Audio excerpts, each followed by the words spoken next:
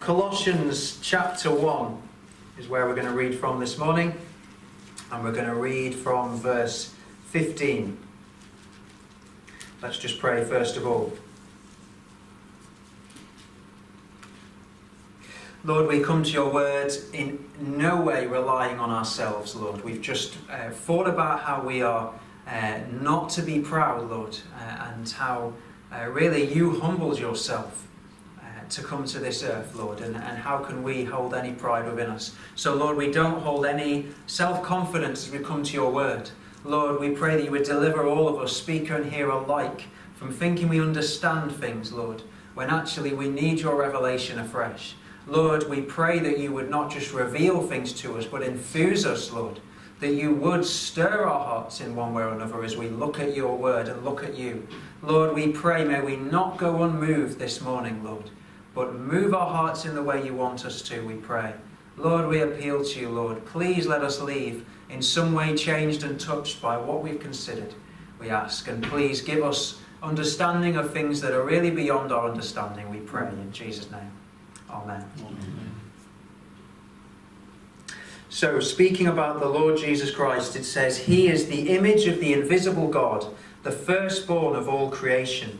For by him all things were created, both in the heavens and on earth, visible and invisible, whether thrones or dominions or rulers or authorities. All things have been created through him and for him. He is before all things, and in him all things hold together. He is also head of the body, the church, and he is the beginning, the firstborn from the dead so that he himself will come to have first place in everything. For it was the Father's good pleasure for all the fullness to dwell in him, and through him to reconcile all things to himself, having made peace through the blood of his cross. Through him, I say, whether things on earth or things in heaven.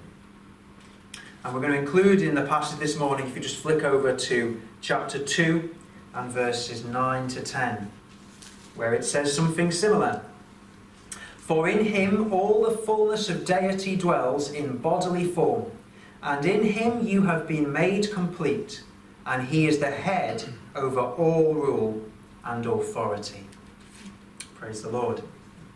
Well, last time in uh, Colossians we were looking at the previous verses of verses 9 to 12 and reminded that the prayer for the Colossians was that they would come to have a knowledge of the Lord's will with all spiritual wisdom and understanding, and flowing from that, that they would walk in a worthy manner in their daily life, pleasing the Lord in everything, bearing fruit in all kinds of different good works, growing to know the Lord more, uh, being strengthened with power, and ultimately being steadfast and patient in their walk with the Lord and giving thanks to the Father.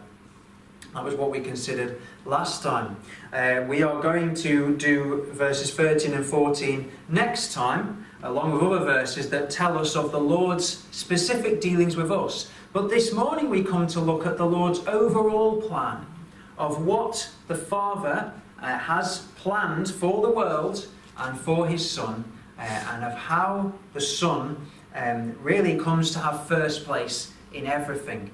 So we're looking really this morning at the centrality of Christ uh, in the whole of the Lord's plan. And this passage tells us four things about the Lord Jesus that we're going to consider this morning, and then we'll finish briefly with a couple of applications for us. What it means for us as we look at the Lord Jesus, what does this mean for us? The first thing our passage tells us is that the Lord Jesus is fully God in bodily form. He is fully God in bodily form. He describes God as invisible. And Job takes up something of this matter in Job chapter uh, 9. I'm saying it's Job. I didn't actually check to see who was speaking at this point. But in Job chapter 9 and verse 9, it describes God who makes the, the bear, Orion, and Pleiades and the chambers of the south, who does great things unfathomable and wondrous works without number. Were he to pass by me, I would not see him. Were he to move past me, I would not perceive him. Were he to snatch away, who could restrain him? Who could say to him, What are you doing? He gets across this idea that the Lord, God, is everywhere, but we can't see him. We can't feel him. We can't hear his voice audibly, generally.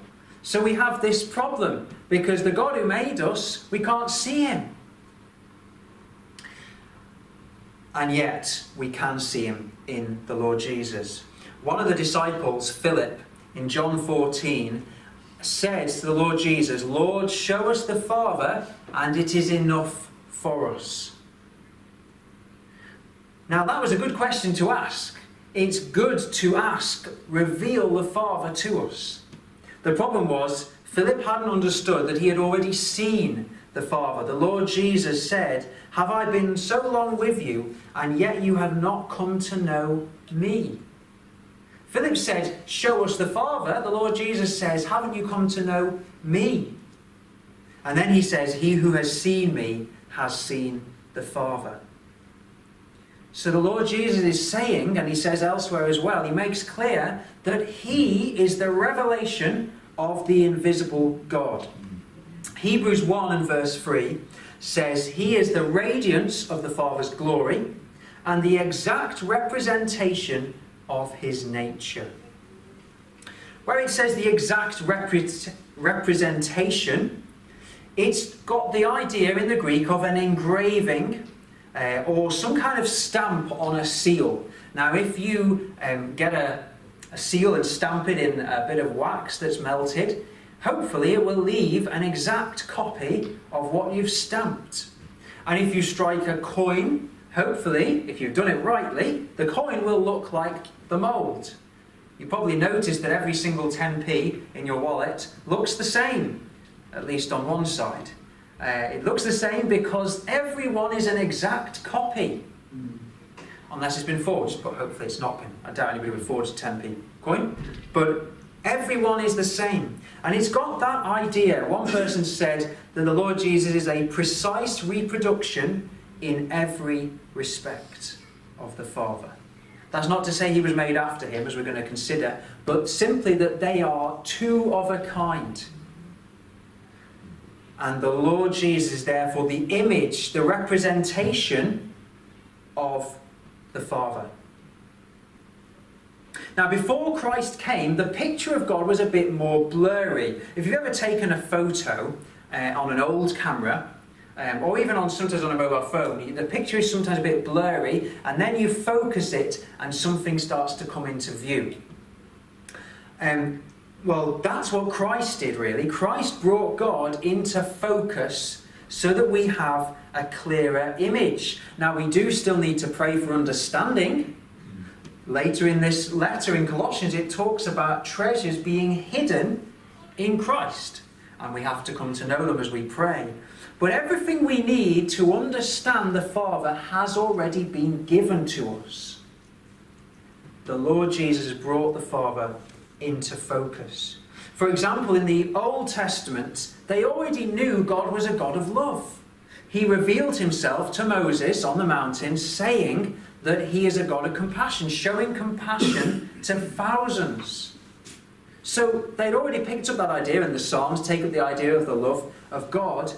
But then the Lord Jesus comes and he shows such love as we consider that he comes down to earth, and beyond that, that he humbles himself to die and beyond that, to die on a cross, and beyond that, to carry our sins and bear the punishment of them. Wow, that's a revelation the Old Testament people didn't have. They had glimpses of it, even references to it. But now we have it brought into focus. We see what the love of the Lord really means, just how far it will go. It went various ways already in the Old Testament, but then we see the depths of it and it reveals it to us. We knew that God was a God of righteousness in the Old Testament. And yet Christ revealed the extent of that righteousness. He lived that perfect life. He stood firm in the face of temptation. And he was ultimately accepted as a perfect sacrifice for us. The Lord Jesus revealed these things. Now, Peter said in 1 Peter 1 and verses 10 to 12, about the prophets and how they prophesied things about the future and they didn't really fully understand. They had a glimpse of it, and it says that they made careful search and inquiries about what they were prophesying about. Can you imagine? You felt the Lord give you a word and you bring it with boldness and say, Thus says the Lord, but inside you're thinking, Lord, what is this all about? I don't fully understand what you're saying. They made careful search, but they didn't understand what you and I understand. We are so privileged. We take it for granted, don't we? Some of us have grown up in Christian families. We've just got used to all these stories about the Lord Jesus. But compared to so many people before his arrival, we have so much to be thankful for that reveals the Father more fully. Now, do you notice it says, it doesn't say he was the image of the invisible God. It doesn't say that for a time he was a bodily representation, but now no longer. It says he is the image. He's not an image only to be seen and grasped by those few people who were privileged to actually see the Lord in the flesh. He's the image for us today. And notice we read as well, chapter 2 and verse 9, that it says, In him all the fullness of deity dwells in bodily form.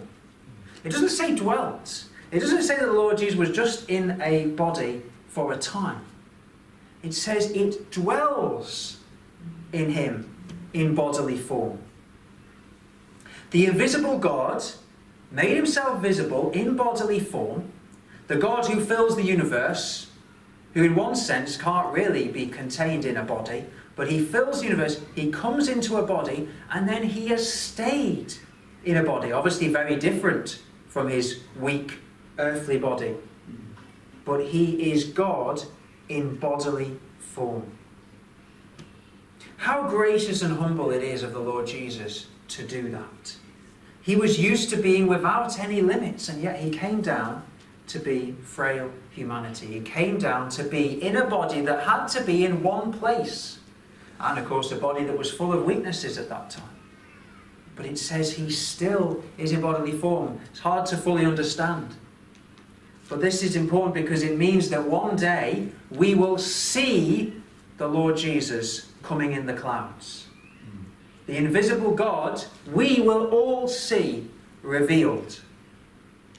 Now, there are indications in Scripture about something of a body for God the Father. We see various uh, things in the Old Testament and the New, seeing one seated on a throne, uh, as well as references to the Lord's hands doing things and his mouth saying things. Um, but we see some indications of God the Father revealed. But certainly in the Son, he is dwelling in bodily form, sat down at the right hand of the Father. And of course, as we seek to see more of Christ and of the Father, we're meant to be changed more into that image. We're not just meant to look at the Lord Jesus and say, ah, isn't that nice? That's what the Lord Jesus is like, and therefore that's what the Father is like. We are meant to be changed. And I say that because in 2 Corinthians 3 and verse 18, it says, We all, with unveiled face, beholding as in a mirror the glory of the Lord, are being transformed into the same image from glory to glory, just as from the Lord the Spirit we are called to try and behold the glory of the Lord. It is like a mirror right now. We don't see the Lord Jesus in every detail right now, but we're called to look at the Word and to pray, and as we uh, commune with the Lord, to behold His glory as in a mirror. And the mirrors in those days weren't necessarily as uh, as good as our mirrors today, so maybe the reflection was a bit more hazy. And imagine that's what he's talking about. We can only see a certain amount now, but one day we'll see face to face. In the meantime, we're called to be transformed into that same image. As we look at the mirror of the Lord's glory and we see something of his righteousness, we are meant to, with the Lord's help, become more righteous. We see the Lord's love. We've dwelt on it this morning in our worship. we should now go out and, with the Lord's help, have something more of that love within us for others. So the Lord Jesus is fully God in bodily form. Secondly, it says that he created everything for himself and holds it all together. He created everything for himself and holds everything together. It tells us in verse 15 that the Lord Jesus is the firstborn of creation. Firstborn. Now, the firstborn can mean the first one to be born, as the name suggests, or it can mean the first in rank, the first in position. The firstborn, of course, also is the heir, the heir of things, and the Lord Jesus certainly is the heir of all things. The Lord, uh, it says in Psalm 2 and verse 8, the Father says, Ask of me, and I will surely give the nations as your inheritance, and the very ends of the earth as your possession. So the Lord Jesus is the heir. He is the firstborn, the one who will inherit all things. But some would say that the firstborn of creation means that he was the first one to be created. The JWs certainly think that. The Mormons and the Muslims also think that the Lord Jesus was a created being. There is another separate word in the Greek for first created, and that word isn't used here. It's the firstborn. It's getting across something different. Sometimes in the Bible, somebody who wasn't born first is made effectively the firstborn. You might think of Jacob Okay, he kind of made himself the firstborn in some ways, but he uh, took on what was rightfully originally going to be Esau's right as the firstborn. In Psalm 89, we have references to David, the Lord's servant, and then it says in verse 27 I will make him my firstborn. He wasn't the first king of Israel, and he wasn't the firstborn in his own family, and he certainly wasn't the first one to live. But the, but the Father says, I will make him my firstborn. Really talking about that position, because it then goes on to say, the highest of the kings of the earth. It's saying, I will make David the first in rank, even though he naturally was a nobody originally. Now, the Lord Jesus, we can see in Scripture, is eternal. He was from eternity, like the Father, and he will go on. It's interesting that Jesus is given that title in, uh, in Isaiah 9 Eternal Father. He tells us in John 8, Before Abraham was, I am. The same words of God the Father uh, to Moses that reveals that I am, I just exist. I always have, I always will. And Jesus, when he says those words, people want to stone him because they know what he's saying. They're saying, he's saying, I'm God. I always have existed. You're seeing me in a physical body, but I have always and always will exist. And in Hebrews, it talks about Melchizedek. Uh, depending on how you see it, either the Lord Jesus himself, revealing himself, or a picture of him. And either way, it tells us that he is described uh, in the story of Genesis as having neither beginning of days nor end of life. Mm. And it relates Melchizedek, therefore, to Jesus. Jesus had no beginning of days. So when it says he's the firstborn of all creation, it's not saying he was the first created, it's saying he is first in rank first in position. It tells us that by him, or literally in him, all things were created. Later in the same verse, it tells us all things were created through him as well as for him. Now, we could see here a picture of God the Father creating through Jesus or in Jesus in some way.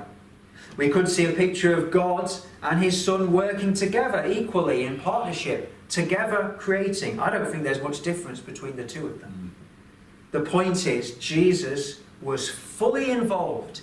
He is as much creator as God the Father. It tells us at the start of John 1 In the beginning was the Word, and the Word was with God, and the Word was God. He was in the beginning with God. All things came into being through him, and apart from him, nothing came into being that has come into being. Nothing.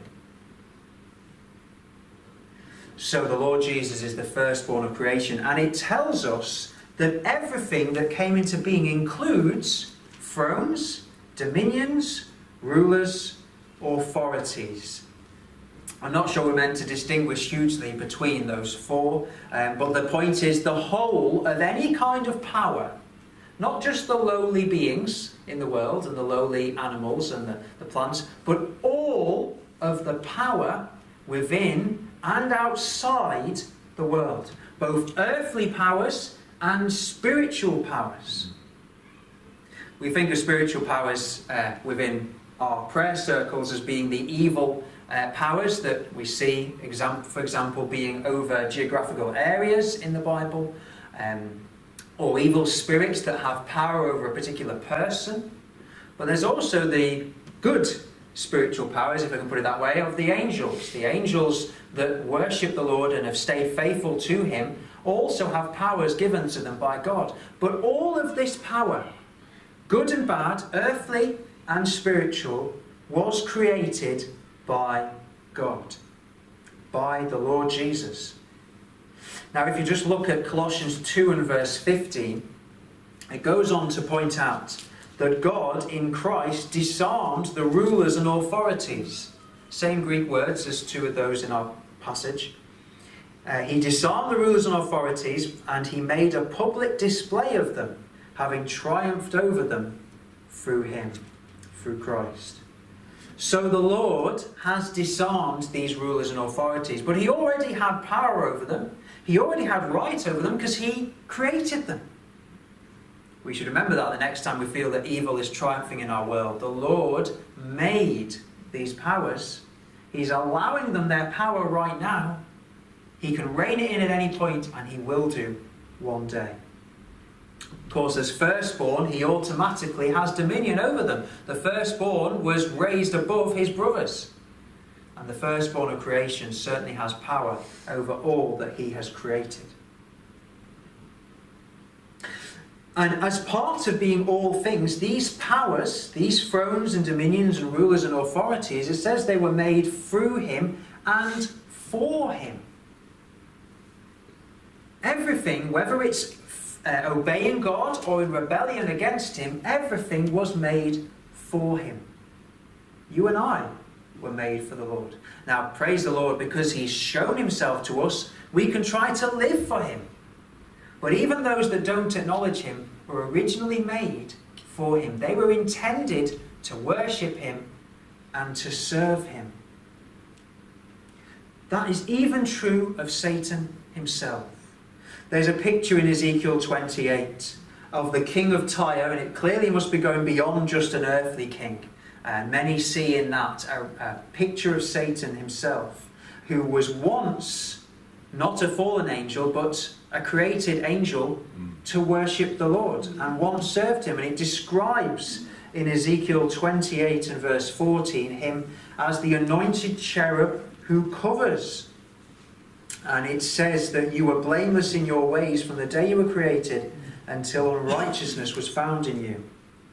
It describes him as having the seal of perfection, full of wisdom and perfect in beauty.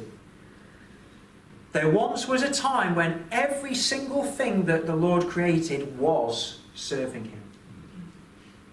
And there will come a time when every created thing will acknowledge him as Lord, will bow before him. I'm sure that means obviously the spiritual powers, not just the human beings, but everything. Okay, many won't go on to serve him through eternity, but there will come a point when the rest, restored nature of the Lord's all encompassing kingdom will be there. When once again all of creation, every created power, every being will say, The Lord Jesus is Lord. Hallelujah. And it says that in him all things hold together. Now, some would suggest that the Lord, kind of like a watchmaker, set the world in motion and then just let it kind of wind itself down. But here it says, He holds all things together. The verse I read from Hebrews 1, verse 3, carries on to say, He upholds all things by the word of His power. The word upholds has the idea of bearing something up, of carrying something. If you might think of the words from the Old Testament underneath are the everlasting arms. The Lord Jesus didn't just set things in motion, He upholds everything, He supports it. If He was to remove that support, you and I and everybody and everything else would cease to exist. But the Lord Jesus upholds us. Doesn't it say somewhere, He holds our very breath in His hand? He could take that away.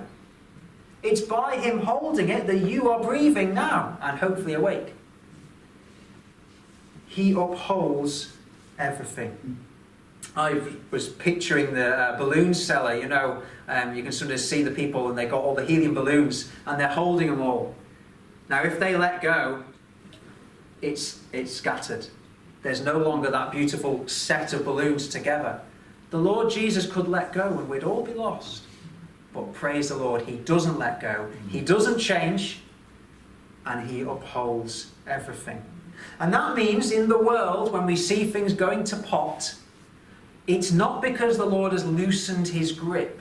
Of course, He's kind of removed, maybe removed something of His restraint on evil, mm. but He is holding the world. He will only allow what He chooses to to happen. It means when you hear about climate change, I'm not suggesting we deny it, but it means that when we hear about climate change, we don't need to panic as those without hope because we know the Lord holds the climate, as with everything else, in the palm of his hand. Only God could do that. And it means we can have strong encouragement. So we see that the Lord uh, is bodily, uh, the image of God. We've seen that the Lord created everything for himself. Now we see that he has ultimate authority over all things. That makes sense, doesn't it? If he made us and he holds us in his hands, he's got authority over us. It tells us in the other part of our passage in chapter 2 and verse 8, uh, sorry, in verse 10, he is the head over all rule and authority. It also tells us that he is before all things. Yes, he came before in time, but he is also in position before all things. He is before all rule and authority and head over it. So the Lord has all authority. Doesn't he say, All authority in heaven and earth has been given to me? And so, no spiritual power or earthly power, Putin, for example, none of them can do anything, can lift a finger without the Lord allowing them, and, and, perhaps you could say giving them the authority to do certain things. The Lord raises up leaders and he brings them down.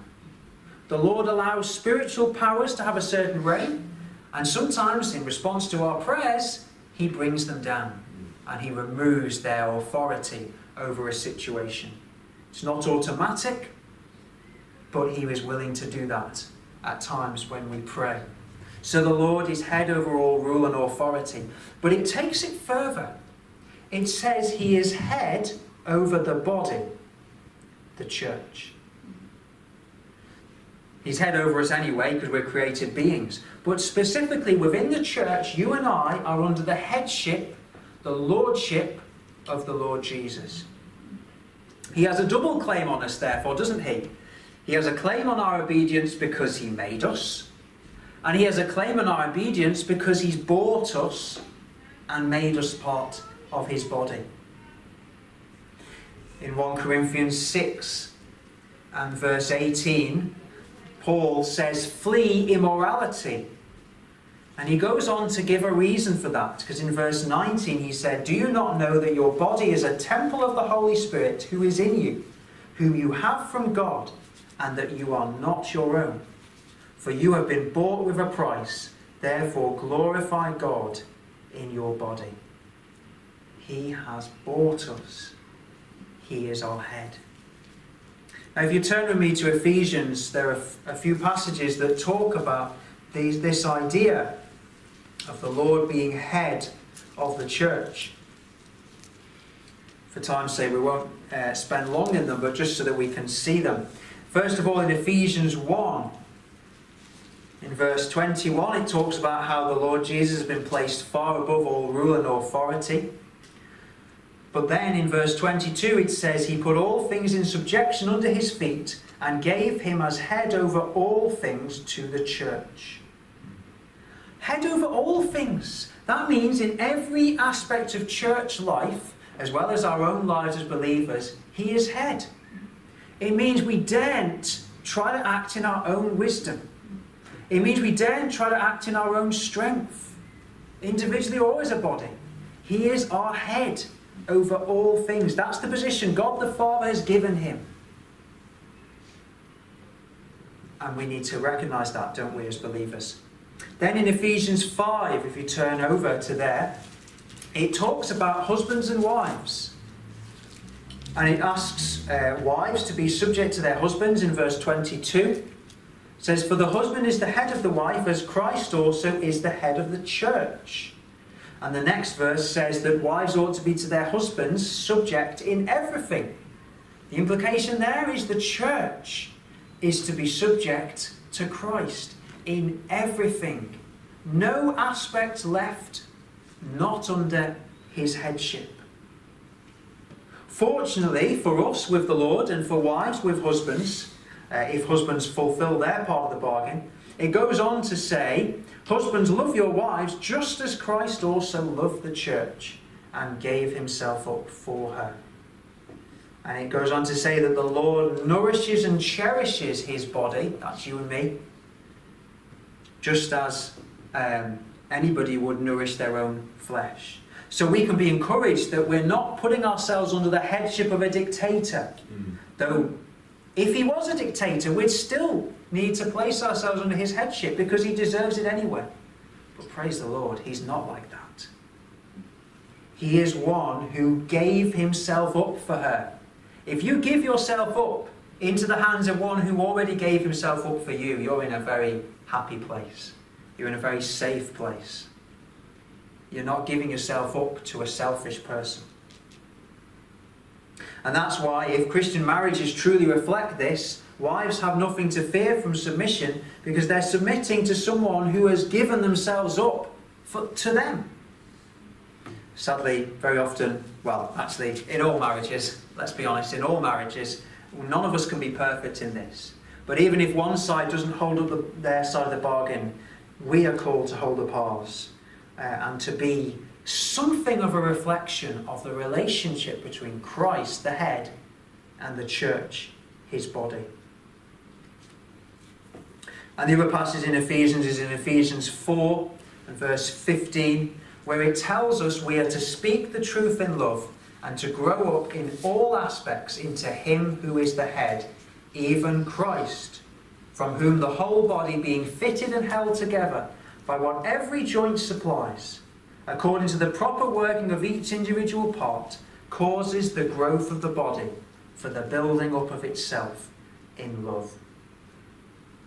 So we are called to grow up into our head. We're not meant to be kind of, uh, well, we are inferior to the Lord in every way, of course, and we always will be. But we're not meant to be distant from Him where he is up here in stature and we are somewhere down here. He wants us to grow up into him and to take on more and more of his character. If that seems like a tall order to you, praise the Lord that back in our passage in chapter 2 and verse 10, it says, In him you have been made complete. In one sense, the Lord has already done it. He's already at least made it possible He's already given us everything for life and godliness. And He just wants us to come more into it. So He is head and uh, has authority over all things. The last thing that it tells us, which we're not really going to dwell on now for time, and because really we'll cover it more next time, is that he's reconciled everything to himself. Not only did the Lord create everything, and not only has he got authority over everything, but he wants to reconcile everything to himself. Many won't take up that offer, but he wants to he wants to reconcile everything. And notice it says all things in heaven and on earth. I wish I could do justice to that. Um, I think it's something for us to ponder on. Certainly, those uh, who are already in heaven, uh, there, and those who died before the Lord, they were ultimately, that reconciliation was worked at, um, at the time of the Lord Jesus' death. But there's also the idea of the wider picture of creation.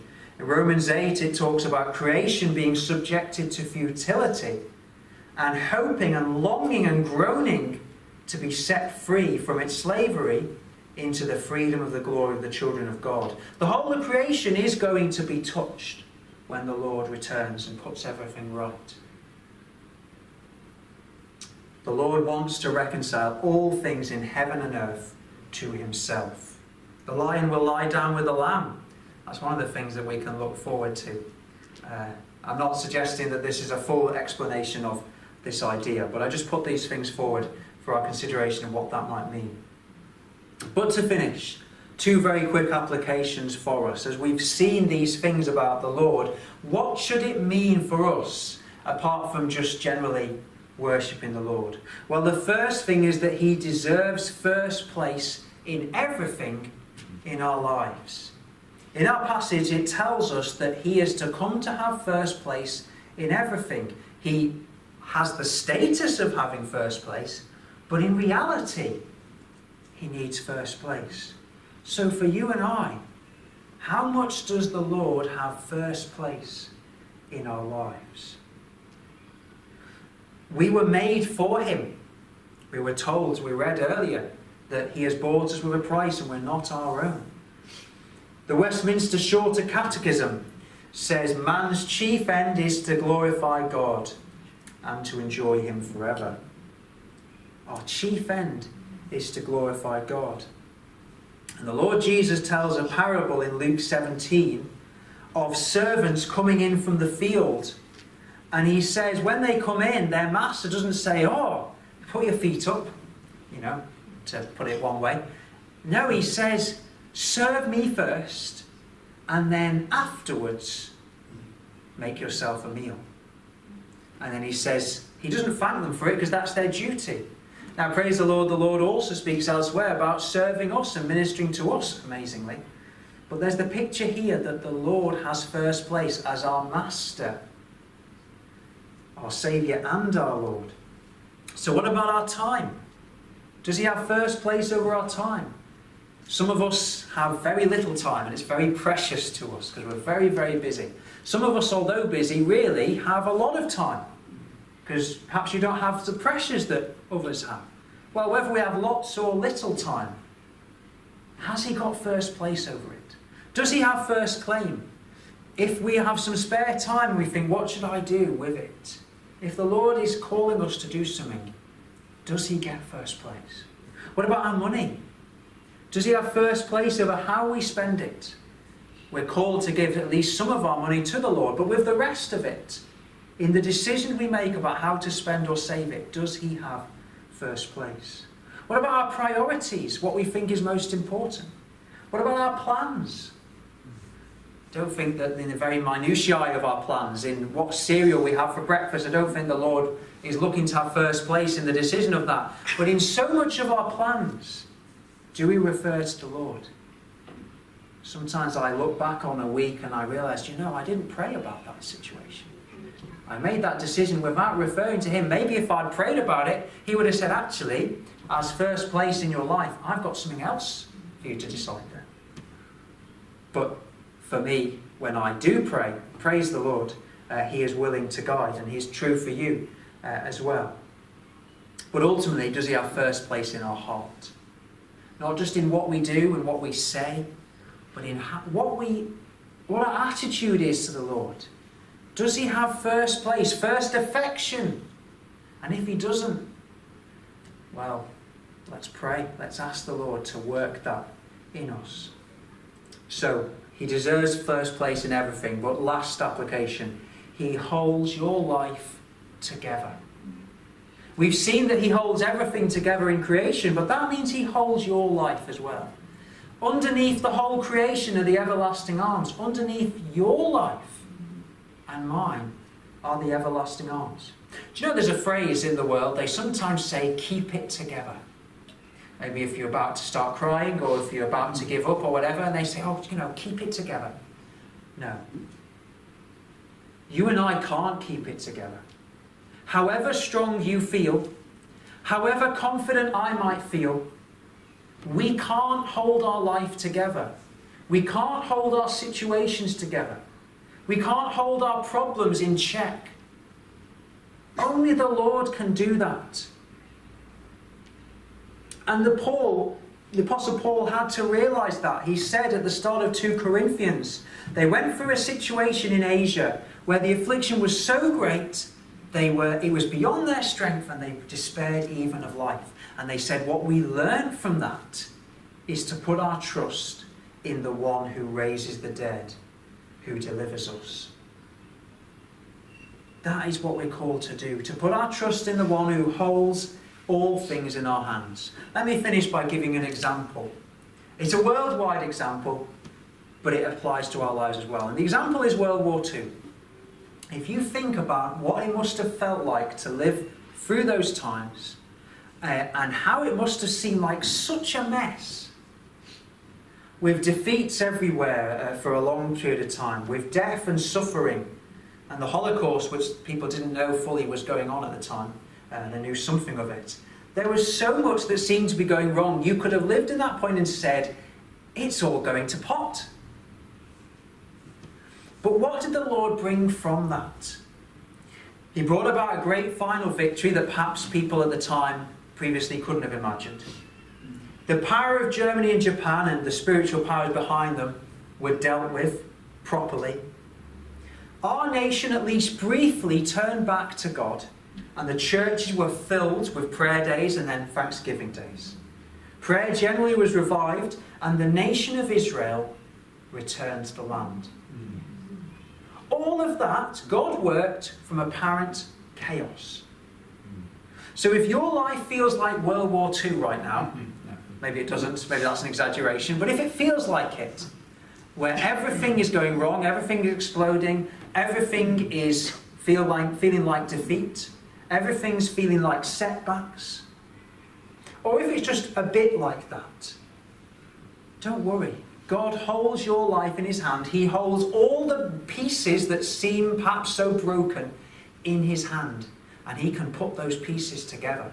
Maybe not how we predict, but into something beautiful. Of course, there was lots of prayer in World War II. God had those big plans, He had everything in hand, but He looked for people to pray. So, I'm not suggesting we just don't pray and just trust. We trust and therefore pray, but we trust. So, friends, let's give the Lord first place in everything, but let's also be encouraged to trust in the one who holds your life and your situations, your questions, your burdens, your problems in his hand. Let's pray.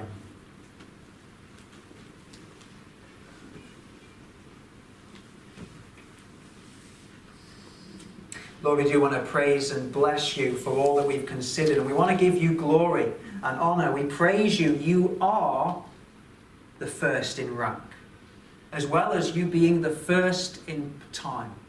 You and the Father existing before any of us ever came into being. Lord, we give you praise. We say you do have all authority. You have all power over everything and everyone. You have the power to remove our breath in a moment, and we stand in awe at you for that.